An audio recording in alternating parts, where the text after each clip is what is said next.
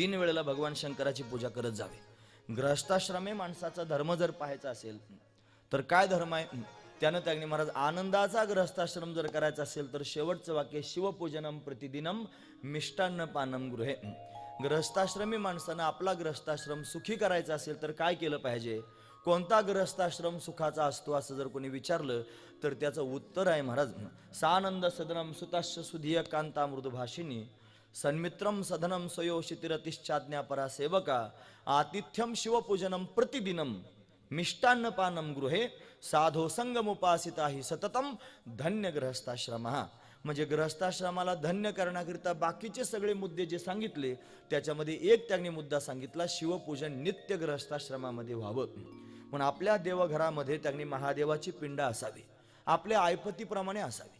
ज्याची आता इथे पूजनच सांगायला सुरुवात केली. सुतजी महाराज शौनकाधिकांना त्यांनी महाराज शिवपूजन कसं करावं हे सांगतात हा सांगा त्यांनी महाराज त्या लिंग पूजेचं महात्म्य सांगा कशा पद्धतीनं शिवलिंगाची पूजा करावी हे सांगा. ज्याच्या त्याच्या ऐपतीनुसार ज्यानं त्यानं शिवलिंग आणावं. ज्याची फार चांगली ऐपत असेल त्यानं सोन्याचं शिवलिंग तयार करून आणावं. देवघरामध्ये त्याने महाराज शिवलिंगाची स्थापना करावी. आता सोन्याचं कोण आणायला लागलं महाराज? हा ते फार कठीण आहे सोनं दुर्लभ झालं. हा मग नाही सोन्याचं जमलं तर पितळेचं करून आणावं. आणि ते आपल्या घरामध्ये ठेवावं. ते नाही जमलं तर दगडाचं शिवलिंग करून आणावं आणि ते आपल्या घरामध्ये त्यांनी ठेवावं. हे पहा शिवलिंगाची पूजा करत असताना नंदीची सुद्धा पूजा केली पाहिजे. पण घरामध्ये पूजा करत असताना तुम्ही ऐकतात ना सर्वजण हे बारकाईचे नियम आहेत महाराज. हे ऐकण्यासारखेच आहेत आणि लक्षात ठेवण्यासारखेच आहेत. म्हणून त्यांनी महाराज घरामध्ये हा, शिवलिंगाची पूजा करत असताना त्याच्यासमोर नंदी नसावा. घरातल्या पिंडीसमोर नंदी नसावा. फक्त पिंडच असावे. हा मंदिरातल्या हा पिंडीसमोर मात्र नंदी असावा. नंदी भगवंताचं वाहन आहे त्याला नंदेश्वर म्हणतात तो समोर असलाच पाहिजे. मला समोरच असला पाहिजे. मला आता सांगितलं महाराजांनी की इथं मंदिर ज्या वेळेला हा, हे त्या या परिसराचा विकास झाला बाकीची दोन मंदिरं झाली त्यावेळेला ते बाबा म्हणायचे की या नंदीची मूर्ती आपण पलीकडून ठेवू एका बाजूला. असं ठेवली पण होती. हा नंतर या लोकांनी समोर ठेवली वाटतं. हा अहो कशी काय त्यांनी बाजूला मूर्ती ठेवायची? तुम्ही बारा ज्योतिर्लिंगात गेलात की नाही? सगळ्या ज्योतिर्लिंगांच्या ठिकाणी समोर नंदीची मूर्ती आहे. समोर नंदी त्यांनी बसलेला आहे. म्हणून नंदी भगवंताच्या समोरच आहे. दुर्दैव आपलं काही ठिकाणी नंदी हा चुकीच्या ठिकाणी पाहायला मिळालं. काशीला जर आपण गेलो तर मशिदीच्या समोर नंदी आहे. हा महादेवाच्या समोर नंदी नाही. नंदी दुसरा आणून बसवलेला विश्वनाथाच्या समोर. मशिदीच्या समोर नंदी आहे. म्हणजेच आपण लक्षात घेण्यासारखी गोष्ट आहे की ती मशीद नसून महादेवाचं मंदिरच आहे. आणि खाली महादेवच आहे. पण असं बोलून त्यांनी महाराज उगाच वाद घालण्यापेक्षा आणि झंझट त्यांनी घालून दुसरंच उभं करणं नाही तर शिवपुराण बाजूला राहायचं आणि दुसरं सुरू व्हायचं. म्हणून तर त्यांनी महाराज ते सगळे मुद्दे न मांडता महत्त्वाच्याच गोष्टी पाहिल्या पाहिजेत. म्हणून शंकराची पूजा करत असताना पिंडीची पूजा करत असताना समोर नंदी असला पाहिजे. हा नंदेश्वर आहे. नंदीची पूजा केल्याशिवाय त्यांनी महाराज शिवपूजा पूर्ण होत नाही. म्हणून आपल्या घरामध्ये ताईने महाराज महादेवाची पिंड असावी. रोज आपण ताईने महाराज महादेवाला अभिषेक आपल्या घरामध्ये करावा. नाहीच कोणता मंत्र म्हणता आला तर ओम नव शिवाय मंत्रापेक्षा श्रेष्ठ मंत्र दुसरा कोणताच नाही हे आपण आता ऐकलं. भगवंतानं स्वतःच त्याने मला त्या ओंकार स्वरूपाचं वर्णन ब्रह्मदेवालानी भगवान विष्णूला करून सांगितलेलं आहे. म्हणून तर त्याने महाराज बाकीचे किती मंत्र असले जगामध्ये तरी त्या मंत्राला चैतन्य स्वरूपता देण्याकरिता त्याच्यासमोर ओम त्यांनी महाराज म्हटलंच पाहिजे. महत्वाची गोष्ट आहे. आणि त्या ओंकाराचं चिंतन त्यांनी करण्याकरिता बरेच मंत्र असे आहेत. की ज्या मंत्रांमधून त्यांनी महाराज त्याचं आद्य अक्षर आणि शेवटचं अक्षर बाजूला जाऊन त्याच्यातून ओमच प्रगट होतो.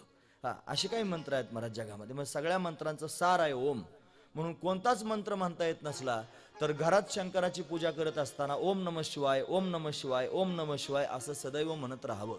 हा त्यातला भाव आहे. आपल्या घरामध्ये मांडलेले जे देव आहेत की नाही महाराज या सगळ्या देवतांमध्ये सगळ्यात शेवटी महादेवाची पिंड ठेवत जावी. आणि सगळ्यात गणपतीची सगळ्यात सुरुवातीला गणपतीची मूर्ती त्यांनी ठेवावी. तुम्ही ऐकतात ना सर्वजण? दहा वाजल्यामुळं कोणी घाबरं झालं नाही ना लक्षपूरक ऐका. महत्त्वाची गोष्ट मी सांगतोय. हा फारच महत्त्वाची गोष्ट आहे कारण आपल्या देवघरामध्ये देव आहेत ना महाराज पण कशी पूजा करावी हे सगळ्या लोकांना माहीत नाही. शिवपुराणात त्याचं वर्णन आहे. सगळ्या देवतांमध्ये आधी गणपतीची पूजा करावी. मग गणपतीच्या नंतर बाकीच्या सगळ्या देवतांची पूजा करावी. मग शेवटी त्यांनी महाराज महादेवाची पूजा करावी. शेवटी का बरं? ते सर्वात श्रेष्ठ महादेव आहेत ना? म्हणून त्यांनी महाराज खालून पूजा करत करत श्रेष्ठ असणाऱ्या देवाची पूजा करावी हा त्यातला भाव आहे. म्हणून महादेवाची पूजा शेवटी केली जाते. त्यात पुन्हा महत्त्वाचा विचार असा की महादेवाची जी पिंड आहे हा त्याची असणारी जी खालची हा योनी त्याला म्हणतात. तिला पार्वतीचं स्वरूप मानलं जातं. खालचा जो भाग आहे की नाही पिंडीचा ती पार्वती आहे. आणि त्याच्यात मध्ये असणारं जे शिवलिंग आहे ना तो त्यांनी महादेव आहे. हा त्यातला भाव आहे. मग त्या ज्या असणाऱ्या खालच्या योनीचं जे मुख आहे ते त्यागणी महाराज उत्तरेकडे असावं. उत्तराभिमुख असावं. म्हणजे त्यागणी महाराज भगवान शंकराची मंदिरं जेव्हा जेव्हा आपण पाहतो तिथं त्यागणी महाराज हा सगळा प्रकार आपल्याला पाहायला मिळतो उत्तरेकडं. आता हे ही उत्तर दिशा आहे ना?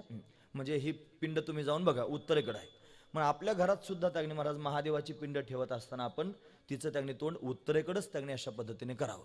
हा महादेवाच्या पिंडीला त्यागणी महाराज हा पूजन करत असताना भस्म अतिशय महत्वाचं असतं.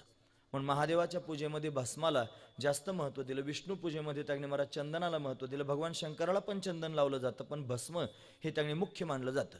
म्हणून शंकराची पूजा करताना त्याने महाराज भस्म त्याच्यामध्ये वापरत जावं. शंकराची पूजा करत असताना शंकराला पांढरी फुलं वाहिलेली आवडतात. म्हणून पांढरी फुलं शंकराला अतिशय प्रिय आहेत. पूजेचं विधान सांगतात. पांढरी फुलं देवाला आवडतात. म्हणून धोत्र्याची फुलं त्यांनी वाहा महाराज वाहा धोत्र्यानं धोत्र्याची फुलं वाहिली हा, की भगवान शंकर प्रसन्न होत असतात. धोत्र्याची म्हणजे जो माणूस धोतर असतो आणि त्यानं जर फुलं आणली शंकराला वाहिले तर धोत्र्याची फुलं देवाला आवडतात असा अर्थ करू नका. धोत्रा नावाची वनस्पती आहे आणि त्या धोत्र्याची असणारे धतूर त्याला म्हणतात धतूर. त्या धोत्र्याची पांढरी फुलं त्याने महाराज भगवान शंकराला वाहिली जातात. भगवान शंकराला लाल फुलं वाहिलेली चालत नाहीत. म्हणून महादेवाच्या पिंडीवर जर तुम्ही लाल फुल वाहिलं तर भगवान शंकर प्रसन्न होत नाहीत ते रुष्ट होतात. कोणत्या देवाला कोणतं फुल वाहिलं पाहिजे हे सुद्धा कळून घेण्यासारखंच आहे. याच्यात बराचसा पूजेचा त्याने महाराज प्रकार आलेला आहे. आता आपण मग पाहिलं केतकीचं फुल म्हणजे केवड्याचं फुल हे शंकराला प्रिय नाही. त्यानं शापच देऊन टाकलं की तुला माझ्या पूजेत त्यागणे आणलं जाणार नाही. म्हणून चुकूनही केतकीचं फल फुल त्यांनी महाराज महादेवाच्या पिंडीवर व्हायचं नाही. हा मग महादेवाच्या पिंडीवर पांढरी फुलं व्हायची. पांढरी फुलं मग कोणती त्यागणी असतील कोणत्या जातीची तरी पण पांढरी फुलं आणून महादेवाच्या पिंडीवर व्हायची. जर तुम्ही महादेवाच्या पिंडीवर कोणी लाल फुल वाहिलेलं आणि महादेवाला नमस्कार करायला गेले तर महादेव रागवेल महाराज त्याला क्रोध त्यागणी येईल. कारण हा क्रोधायमान होणारा हा देव आहे. याला क्रोध आल्यानंतर हा देव त्यागणी महाराज जाळून टाकू शकतो हे पण लक्षात ठेवा. कारण प्रलयंकर आहे. आणि कोणाला जाळलं असं जर त्यांनी म्हणत असाल तर यानं कामदेवाला जाळून टाकलेलं आहे. त्यानं तिसरा डोळा उघडला आणि कामदेव जाळूनच टाकला. हा त्यातला भाव आहे. म्हणून भगवान शंकराची पूजा करत असताना शुभ्र फुलं त्यांनी वाहिली पाहिजेत. अजून महत्त्वाचा विचार. भगवान शंकराला त्यांनी महाराज सर्वात जास्त पानं कशाची आवडत असतील तर ती बेलाची पानं आवडतात. बेल बेल हा वृक्ष आहे. या बेल व वृक्षाला त्यांनी महाराज भगवान शंकर जास्त महत्त्व देतात. म्हणून तर त्यांनी महाराज हा बेलाच्या पानांची आवड आहे अशी आपण भजनच म्हणतो. आवड तुला हा बेलाची आणि बेलाच्या पानाची. म्हणून त्यांनी महाराज बेलाच्या पानाची आवड भगवान शंकराला आहे. तीन पानं त्याग्ने बेलाला बेलाच्या पा वृक्षाला तीन त्यागने अशा पद्धतीने जोडून पानं येतात. का बरं तीन पानं असतात? हे त्रिगुणात्मक आहेत महाराज. सत्व रज आणि तम या तीन गुणांचे एकीकरण आहे या संपूर्ण सृष्टीला निर्माण करण्याकरिता तो परमात्मा निर्माण करणार आहे. म्हणून त्याला भव म्हणतात. भव हे भव नाव आहे ना भगवान शंकराचं नाव आहे. हा जो भव शब्द आहे ना हा शब्द व्याकरणाच्या दृष्टीनं भू नावाच्या धातूपासून तयार झाला. भव. हा म्हणजे तो त्याने महाराज सगळ्या जगाला निर्माण करणार आहे. भू भवती म्हणजे होणे. जगत त्याने निर्माण केलं सृजन करणार आहे म्हणून त्याला भव म्हणतात. त्याला हर म्हणतात तो त्याने हरण करून घेणार आहे. हा तो पालन करणार आहे. मृड त्याला त्याने म्हटलं जातं. अशी त्याची अनेक नावं पाहायला मिळतात. म्हणून तो भगवान शंकरच त्रिगुणात्मक आहे.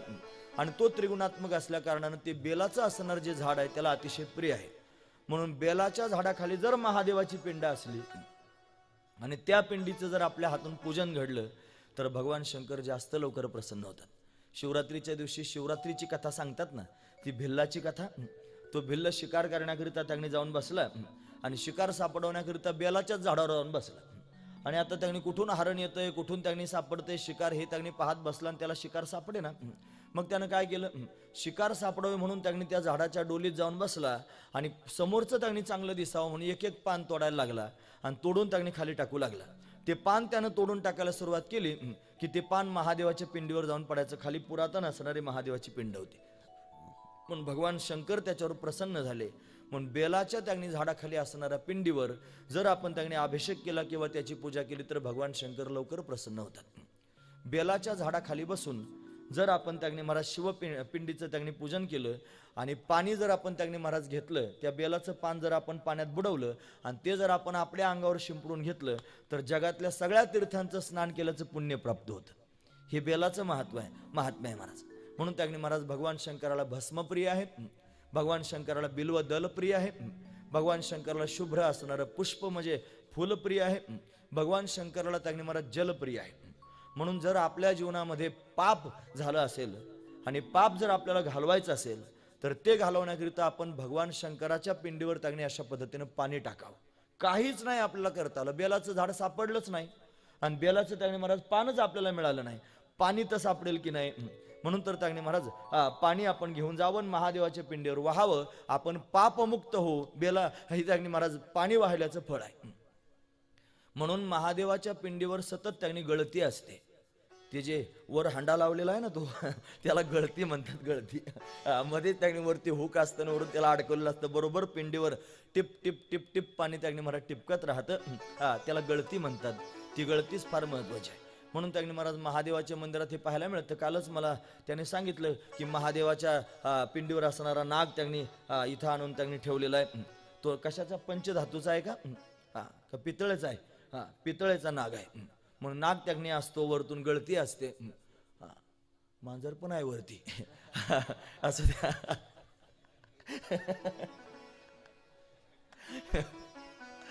देवाला सगळेच प्रिय असू द्या. गळती त्याने वरतून आहे. भगवान शंकर या सगळ्या गोष्टीने प्रसन्न होतात. अहो फार भोळे आहेत महाराज. गळतीवरून त्यांनी हा एक उदाहरण सांगतो लक्षपूर्वक. किती भोळे? त्यांचं भोळेपण सांगण्याकरिता सांगतो एक चोर. मी काल त्यांना प्रश्न विचारला की हे जर तुम्ही नाग आणून ठेवलेलं आहे ही गळती आणून ठेवलेली वरती दिसते आहे चोराला काय लागतं मला त्याला काही देव कळतो का? हां त्याला काही धर्म त्यागणे कळतो का? चोर चोरी करू शकतो मग त्यानं जर हे चोरून नेलं मग काय करायचं? नियम अजून पण आहे असा की महादेवाच्या मंदिराला दरवाजा नसावा ती त्यागणी महाराज बंद होऊच नाही. चोवीस तास महादेवाची पूजा त्यागणी घडत राहावी. म्हणून त्याला दरवाजा नसावा. मग तुम्ही मला ते काय शनी शिंगणापूर आहे का? शनी शिंगणापूर नसलं तरी शिंगणापूरच्या परिसरातलंच महादेवाचं मंदिर आहे असू द्या. त्याला दरवाजा नसावा. अखंड भगवंताचं पूजन करत राहावं. म्हणून त्यागणी महाराज हा एक चोर घोसला. सोन्याची गळती होती आणि ती फार उंच होती आणि वरून त्याच्यावर पाणी टिपकत होतं. त्याला त्यागणी महाराज चोरी करण्याची इच्छा निर्माण झाली. त्यानं काय केलं? तो मंदिरात घुसला. आणि पायातल्या जोड्यासहित त्याग्नी महाराज मंदिरात घुसला. आता ती गळती हा काढून घ्यायचा विचार करायला लागला पण त्याला काढताच आहे ना ती गळती. मग काय करायचं? त्यानं पायातल्या जोड्यासहित हा महादेवाच्या पिंडीचाच आधार घ्यायचं ठरवलं. ती उंच असणारी पिंड होती ना त्या पिंडीवरच जोड्यासहित उभा राहिला. आणि जोड्यासहित उभं राहून वरून ती त्या महाराज गळती काढून घेतली. आणि काढून घेऊन त्यांनी महाराज हा परत जायला निघाला. भगवान शंकर त्याच्यावर प्रसन्न झाले. आणि त्याला हाक मार ए भक्ता थांब म्हटले आता तो भक्त आहे बाई चोरी करायला आला होता. आणि चोरी करून त्याला वाटलं कोण हाक मारतोय? घाबरला महाराज. मागे पाहिलं तर भगवान शंकर प्रत्यक्ष प्रगट झाले होते. ते प्रगट झाल्यानंतर त्यांनी महाराज हा त्याला पाहून भगवान शंकर बोलायला लागले तो थरथर थरथर कापायला लागला त्याला वाटलं देवच प्रगट झाला ना आता मला मारतो की काय? ते म्हणले घाबरू नकोस तुला मारणार नाही. हा म्हणे मग देवा मी तर चोरी केली आणि एवढा वाईट आहे मी की चपलासहित तुझ्या पिंडीवर उभा राहिलो. आणि तरी तू प्रसन्न झाला आणि मला त्यांनी थांब म्हणतोय का बरं प्रसन्न झाला सांग? देवानं सांगितलं भक्ता अरे सगळेच लोक माझ्या पाया पडायला येतात. काय लोकांचं कौतुक सांगा म्हणे? नारळ घेऊन येतात मला वाहून देतात. फोडून आहे ना महादेवाला? वाहून देतात फुलं आणतात. कोणी साखर घेऊन येतं कोणी शेंगदाणे घेऊन येतं कोणी नारळाचं तोरण बांधतं कोणी काय काय करतं. हा कोणी त्यांनी दक्षिणा देतं कोणी अमुक त्यांनी अन्नदान करतं. या सगळ्या गोष्टी करणारे लोक मी पाहिले. पण तुझ्यासारखा पाहिलंच नाही. म्हणे कसं काय? हे लोक एवढं दानधर्म करतात त्यांनी. हा पण तुझ्यासारखं त्यांनी महाराज दान देणारा पाहिलं ना तू स्वतःलाच देऊन टाकलंस. पायातल्या जोड्या सगट माझ्या पिंडीवर उभा राहिला आणि स्वतः लोक फुलं वाहतात बेल वाहतात पानं वाहतात. तू स्वतःलाच माझ्या पिंडीवर वाहून टाकलंस म्हणून मी प्रसन्न झालो. हा तुम्ही ऐकतात ना सर्वजण? एवढा भोळा देव. म्हणजे देवाला काय सांगायचं आहे आपल्याला निरोप काय द्यायचं हे आपल्याला कळालं पाहिजे. म्हणून भगवंतानं जणू काय हे सांगितलं की अरे फुलं काय वाहता? अरे पानं काय वाहता? पाणी काय वाहता? हे सगळं त्यांनी मीच तयार केलेलं आहे. कासयाने पूजा करू केशराजा संध्या माझा फेडे आता. अरे उदकी नानू तरी स्वरूप ते तुझे. पाणी जरी देवाला व्हायचं म्हणलं तरी आपण थोडंच तयार केलं त्यानंच तयार केलंय. हा.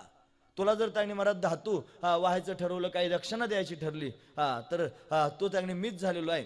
धातू सुद्धा मीच झालो आहे तांदूळ सुद्धा मीच झालोय फुलं सुद्धा मीच झालोय हा भगवानच सगळं काय झालंय? मग देवाला जर द्यायचंच असेल काय तर स्वतःलाच देवाच्या समोर समर्पित करून टाकावं. आणि पूजाच जर देवाची करायची असेल तर अशी तासभराची दोन तासाची पूजा करण्यापेक्षा आपलं जीवनच भगवंताची पूजा करून टाका. ज्याचं जीवनच भगवंताची पूजा झालेलं आहे भगवान त्याला प्रसन्न झाल्याशिवाय राहत नाही. म्हणून काय करू नका? हा तू म्हणाल मग काय प्रपंचातले धंदे सोडून द्यायचे आणि तुमच्यासारखे बुवा होऊन हिंडायचं बोंबलत हा देवदेव करीत काही काम धंदे आहेत की नाही बाकीचे सगळे? हा बुवा लोकांना काही कामधंदे नाही त्यांना एवढाच धंदा फक्त. अरे जे चांगलं करतात त्यानं तरी चांगलं म्हणा निदान. हा हा महत्त्वाचा विचार आहे. करतात ना देवधर्म लोक त्यांनी महाराज करू दिला पाहिजे. महत्त्वाचा विचार आहे तेवढं तरी विचारे करतात. आपण तेही करत नाहीत. म्हणून कोणाला नाव ठेवण्याचा आपल्याला काही अधिकार नाही. नाव ठेवण्याचा किंवा एखाद्याचे दोष काढण्याचा अधिकार त्यालाच आहे. जो त्यांनी स्वतः अधिरितीनं वागतोय. आधी वागायचं मग जगद्गुरु तुकोबारायांनी अनेक लोकांना त्यांनी महाराज फटकारून काढलं. हा त्यांनी त्यांनी महाराज तुकोबारायांची गाथा जर तुम्ही पाहिली तर शाक्तांना नावं ठेवली महाराज. देवीची जी उपासना करणारे शाक्ता आहेत की नाही ती वक्र कोंबडं देवीच्या समोर कापतात. ते म्हणतात शाक्ताची माय गधडी भोंकत असे. असं त्यांनी तिला अं, शाक्ताची माय गधडी तिला गधडी म्हणली देवीला गधडी म्हणतात. तुकोबार आहे हा. ते खंडोबाला नावं ठेवायला तयार झाले. ते म्हणतात खंडोबा भैरव रोटी सुटीसाठी देव. ते त्यागनी महाराज शेंदूर लावलेलं लावलेल्या देवानं नावं ठेवायला लागले. ते म्हणले हेंदरी शेंदरी दैवते आणि कोण ते पूजी भूते खेते? तुकोबरायांचे शब्द आहेत महाराज. तुकोबरायांनी मानभावांना नावं ठेवले.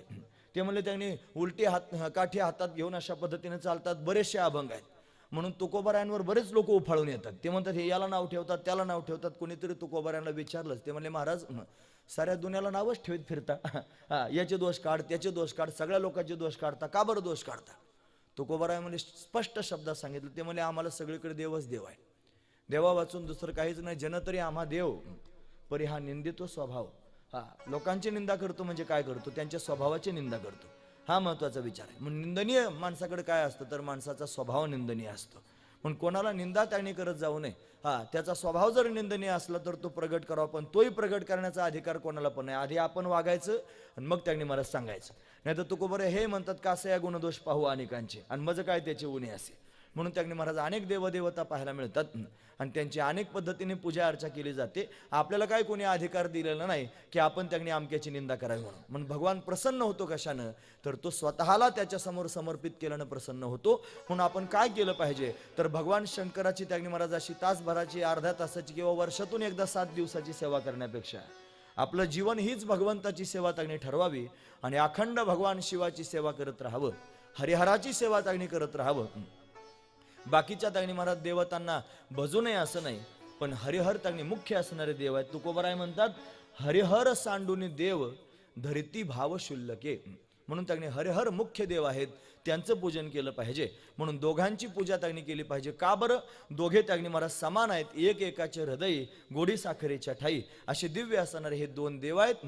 हा म्हणून त्यांचं पूजन केलं पाहिजे. असा त्यातला भाव आहे. म्हणून महादेवाची त्यांनी पूजा करत असताना या माध्यमातून त्यांनी महादेवाची पूजा करावी. अशा पद्धतीनं त्याच्यावर गळती असावी. रात्रंदिवस त्याच्यावर पाणी पडत राहावं. म्हणजे आपण ऐकता आहात ना भस्म महादेवाला प्रिय आहे. बेलाचं पान महादेवाला प्रिय आहे. पांढरी फुलं महादेवाला प्रिय आहेत. हा पाणी त्यांनी महादेवाला प्रिय आहे. म्हणून या सगळ्या माध्यमातून आपण महादेवाची पूजा करू शकतो. पूजा झाल्यानंतर त्यांनी महाराज महादेवाला पक्वान्नाचा नैवेद्य दाखवा. आपण जी पक्वान्न खातो हीच पक्वान्न त्यांनी महाराज महादेवाच्या समोर हा नेऊन मांडावीत सगळ्यामध्ये महत्त्वाचा नैवेद्य जर कोणता असेल तर महादेवाला खीर अतिशय प्रिय आहे. हा म्हणून खिरीचा नैवेद्य त्यांनी दाखवला जातो. पक्वान्न तागणी करून भगवान शंकराच्या समोर ठेवावेत. आणि अशा पद्धतीने शंकराची पूजा नित्य नियमानं करावी. ओम नम शिवाय मंत्र म्हणत म्हणत शिवाची त्यागणी पूजा करावी. हा सगळ्यात त्यांनी श्रेष्ठ असणारी पूजा पार्थिव शिवलिंगाची सांगितली. पार्थिव शिवलिंग म्हणजे मातीचं शिवलिंग. हा मातीचं शिवलिंग तयार केलं जातं. भस्माचं शिवलिंग पण तयार केलं जातं. असे वेगवेगळ्या प्रकारचे शिवलिंग आहेत. ज्याच्या त्याच्या अधिकारानुसार ज्यानं त्यानं शिवलिंग तयार करावं आणि त्या शिवलिंगाची पूजा त्यांनी करावी. आपण कालच ऐकलं की महादेवाच्या मूर्तीची पूजा जास्त करून केली जात नाही. इथं भगवान शंकरानं स्वतःच वर्णन करून सांगितलंय या शिवमहापुराणातच. मला त्यांनी मूर्तीची पूजा करण्यापेक्षा शिवलिंगाची पूजा करणारे भक्त जास्त प्रिय आहेत. म्हणून त्याला शिवलिंगाची पूजा करणं आवडतं. मूर्तीची पूजा का करू नये असं जर कोणी विचारत असेल तर पुढे प्रसंग येणारच आहे. पण आताच पोटामध्ये त्याने मला तो भाव ठेवण्यापेक्षा मोकळा करून टाकलेला चांगला. ज्या वेळेला दक्ष राजाच्या यज्ञामध्ये भगवान शंकर गेले आणि तिथे त्यांनी दक्ष राजानं भगवान शंकराला भर भरपूर त्यांनी महाराज शब्दांनी त्या कठीण शब्दांनी ताडण केलं आणि त्यावेळेला दक्ष राजानं त्यांनी महाराज भगवान शंकराला शाप दिला. की तुझी कोणी पूजा करणार नाही आणि कुठेच तुला त्याने महाराज भाग प्राप्त होणार नाही. म्हणून भगवान शंकराची पूजा होणार नाही हे त्याने मला शाप दिला भगवान शंकराच्या शास्त्र्यानंच. त्याचं नाव दक्ष आहे. म्हणून त्यानं शाप दिलेला आहे. म्हणून शाप असल्या कारणानं भगवान शंकराच्या मूर्तीची पूजा करू नये. मग इथं तर सांगितलं मूर्तीची पूजा करावी. मग मूर्तीची पूजा जर करायची असेल तर ती कुठे करावी? ती मसनवाट्यात करावी. कारण भगवान शंकराचं राहण्याचं स्थान काय? स्मशान आहे. म्हणून त्याने स्मशानात भगवान शंकर वास्तव्य करतात. हा म्हणून त्याने स्मशान क्रीडा करणारे आहेत. स्मशानात वास्तव्य करणारे आहेत. म्हणून स्मशानात भगवान शंकराची मूर्तीची पूजा आपण करू शकतो. घरामध्ये नाही. हा. म्हणून त्यांनी महाराज भगवान शंकराची पूजा पिंडीच्याच रूपात त्यांनी केली पाहिजे. भगवान शंकराचं जिथे मंदिर असेल त्या मंदिराच्या परिसरामध्ये त्याग्नी महाराज ते एकांतात मंदिर असावं. हा त्याच्या परिसरामध्ये कोणाचं घर नसावं जर घर असेल तर काय होतं त्याचा असणारा जो कलश आहे ना मंदिराचा त्या कलशाची सावली जर त्याने महाराज घरावर पडत असेल हा तर ते त्याने सावली पडणं चांगलं नाही ती सावली पडल्यानं त्याने महाराज काय होतं तर उत्कर्ष त्याने महाराज खंडित होतो म्हणून त्याग्नी महाराज मंदिराची सावली हा कळशाची सावली त्याग्नी महाराज घरावर पडू नये ती जर पडली तर त्या घराचा उत्कर्ष अशा पद्धतीने थांबत राहतो. मग काय केलं पाहिजे? आता बरेच लोक मनात विचार करतात आपल्याजवळ तर मंदिर आहे. आणि मंदिराची सावली तर नेमकी आपल्याच घरावर त्याग्नी पडते मग काय हा हा, मग काय केलं पाहिजे? काय नाही. हा संकल्प करून त्याग्नी महाराज महादेवाला सदैव अभिषेक करत राहिलं पाहिजे. जर आपल्याला स्वतःहून अभिषेक करता आला नाही तर मंदिरामध्ये असणारे जे पुजारी आहेत त्या पुजाऱ्यांना दक्षिणा देऊन एकाच वेळेला संकल्प करून आपण त्यांच्याकडून अभिषेक करून घेत राहिलं पाहिजे. जर आपण अशा पद्धतीने मंदिरातल्या देवतेचा अभिषेक करत राहिलो तर तो दोष आपल्याला अशा पद्धतीने लागत नाही. हा हे त्यांनी अनेक प्रकारानं हा शिवपुराणामध्ये वर्णन पाहायला मिळतं. म्हणून भगवान शंकराची त्यांनी अशा पद्धतीने पूजा सर्वांनी केली पाहिजे हे. पूजन त्यांनी महाराज अतिशय महत्वाचं आहे. आता त्यांनी महाराज भगवान शंकराची पूजा कळाली वेगवेगळ्या पद्धतीने पूजा केली पाहिजे.